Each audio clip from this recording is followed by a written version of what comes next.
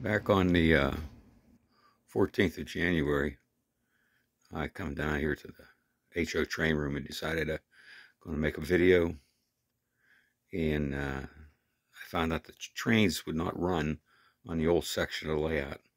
We're looking at the control panel, panel for the old section of the layout. This was a uh, section that was built uh, uh, 20, 20 years ago in 2003 anyway, it was it was totally dead. So um, I tried to diagnose it. I spent pretty much a day and a half uh, doing everything I can to try to figure out what the problem was, why I didn't have power here, and none of it made any sense.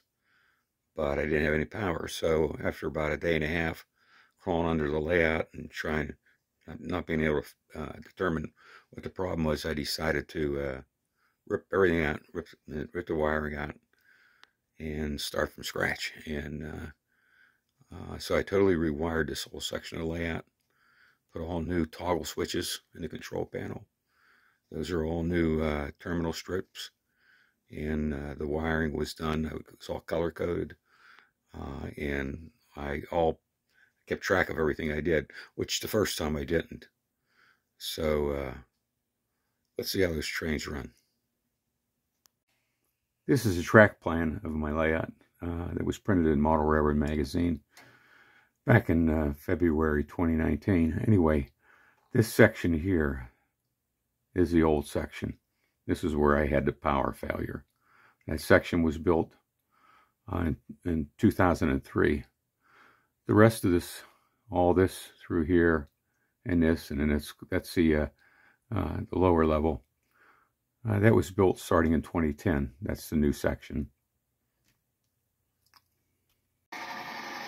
I made up a train, uh, just a locomotive, three track cleaning cars, and a caboose. And uh, just to see how it'll run. And also while, while it's running, clean the track a little bit.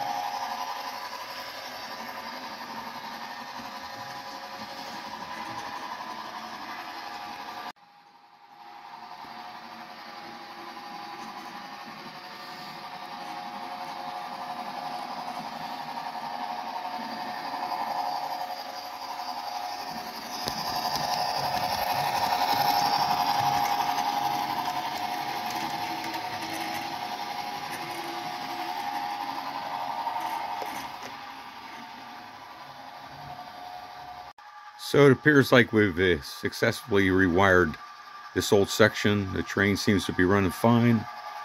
And here it is pulling into Justin Junction Station.